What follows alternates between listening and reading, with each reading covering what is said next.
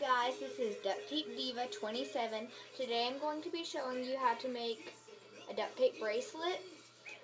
First you're going to start off with a piece like this. I'll show you how to make that in a minute. First you need to cut a piece of duct tape that is about 8.5 inches long. Here, let me do that right now.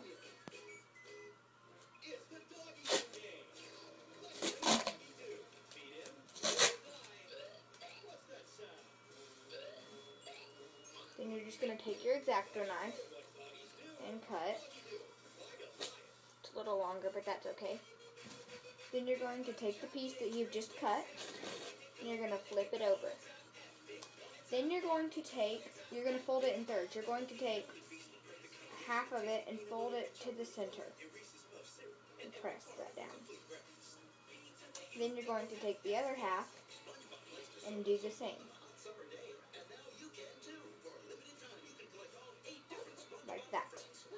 Now you have one of these.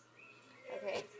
Now you're going to make a duct tape bow, which I assume you know how to make also. Um, all you have to do is take a piece of duct tape about four and a half inches long, fold it in half, do the crinkle like it's like up, flip it over, down, flip it over, and then take a piece and wrap it around in the middle. It looks better if the piece that you wrap around the middle is the color of the bracelet part, but if it's not, that's okay.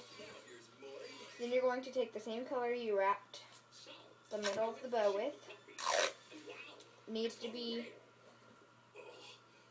about the same width of the middle or a little smaller if you're okay with that. Then you're going to place it in the middle of the bow. Then put the bow on the bracelet and push down. Then I'll cut this. Cut into the bracelet a little bit there. That's okay. Then you have your duct tape bracelet. Now, let me go get some Velcro.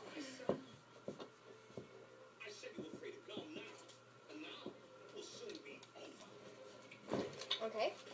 Then you're going to take piece of Velcro. I have these little dots.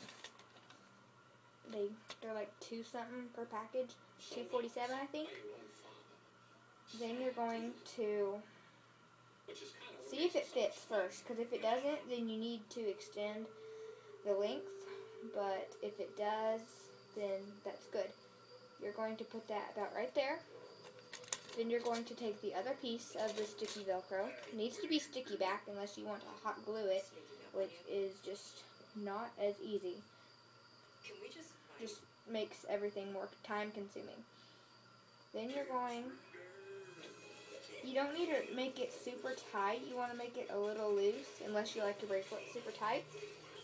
And it will end up looking like this. So there you go. That's how you make a duct tape bracelet with a bow. Thank you for watching. Rate, comment, subscribe, and like my video. Thanks.